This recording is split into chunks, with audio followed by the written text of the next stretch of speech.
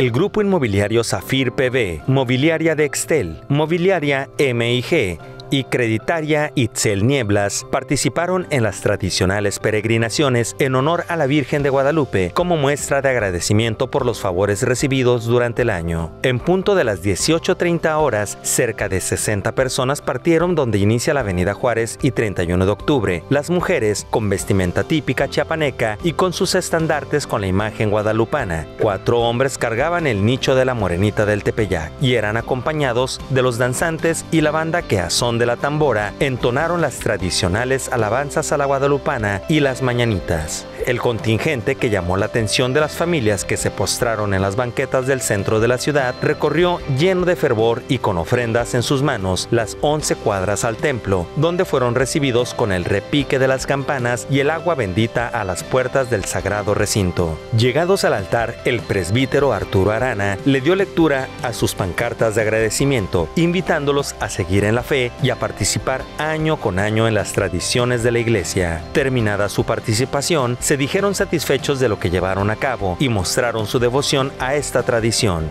Natalia Guzmán, Mildred Vargas y Diana Laura Rubalcaba, quienes fueron parte de la organización, hablaron de la preparación a detalle de su participación y el porqué de sus coloridos trajes. Fabián de la Cruz es chapaneco, entonces este, nuestros trajes están inspirados en ello. Eh, todos nos pusimos de acuerdo desde hace unos dos meses, yo creo, montando, montando a nuestra Virgen en, acá llena de flores y también nuestros, nuestros estandartes. Ah, pues sí, desde hace mes y medio, dos meses.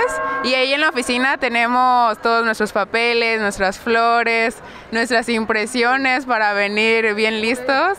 Y pues a llamarle a los danzantes, a la banda, para venir con toda la actitud y la alegría, como se lo merece nuestra Virgen. El conglomerado agradeció a cada uno de sus clientes el estar este año con ellos y esperan que el próximo año confíen en ellos, dado que esta participación y ofrenda es para que les vaya bien a todos. Con imágenes de Eliseo Cruz e información de Israel Torres, CPS Noticias.